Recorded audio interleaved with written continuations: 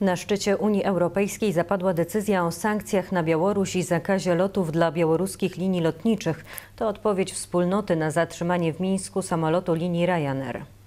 Po wymuszonym lądowaniu samolotu w Mińsku Roman Protasiewicz i jego partnerka zostali zatrzymani. Mężczyzna był ścigany listem gończym przez białoruskie władze. Obecnie przebywa w areszcie śledczym w Mińsku. Wczoraj pojawiło się nagranie opozycjonisty, jednak są wątpliwości co do wiarygodności słów wypowiedzianych przez Protasiewicza. Policjanci traktują mnie właściwie i zgodnie z prawem. Ponadto nadal współpracuję przy śledztwie i przyznaję się do organizowania masowych protestów w Mińsku организации массовых беспорядков в городе Минске. Białoruska opozycjonistka Swiatłana Cichanowska wskazuje, że Protasiewicz jest terroryzowany w areszcie. Tak wygląda Roman pod presją fizyczną i moralną. Żądam natychmiastowego uwolnienia Romana i wszystkich więźniów politycznych.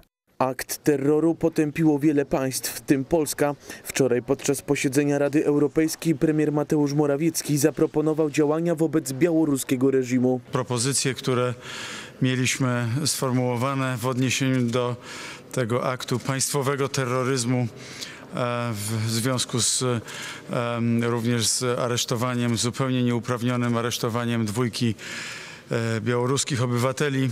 Te propozycje zostały przyjęte przez Radę Europejską. Przewodniczący Rady Europejskiej Charles Michel podkreślał, że to, co wydarzyło się na Białorusi, to nie tylko zagrożenie dla bezpieczeństwa lotnictwa cywilnego, ale także dla bezpieczeństwa międzynarodowego. menace contre la sécurité internationale. Dlatego 27 szefów państw i rządów z wielką stanowczością zgodziło się natychmiast potępić to, co stało się i zażądać natychmiastowego uwolnienia Romana Protasiewicza i Sofii Sapiegi. euh, de Raman Pratasevich et de Sofia Sapeja. Zapadła też decyzja o nałożeniu nowych sankcji, poinformowała przewodnicząca Komisji Europejskiej Ursula von der Leyen. Wart 3 miliardy euro pakiet inwestycyjny dla Białorusi ma zostać wstrzymany.